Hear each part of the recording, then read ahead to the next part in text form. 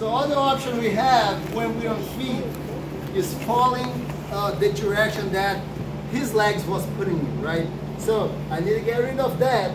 So my handle will be controlled. But his leg is still working here, pulling right? So I need to, I, I, I cannot fight against it. You know, it's like swim against the current. You know, if I try to move it because it was very deep, it didn't work very well. So what I'm gonna do, I bring this leg all the way to the other side.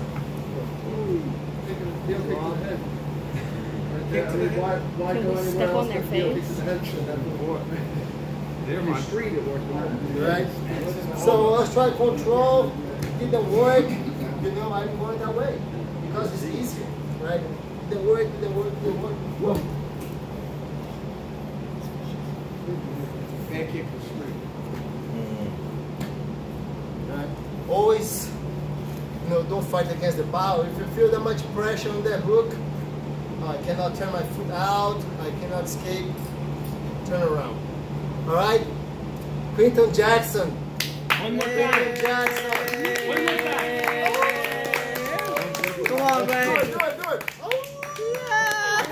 Do it. Come on, Ray. Now, fuck you think this is?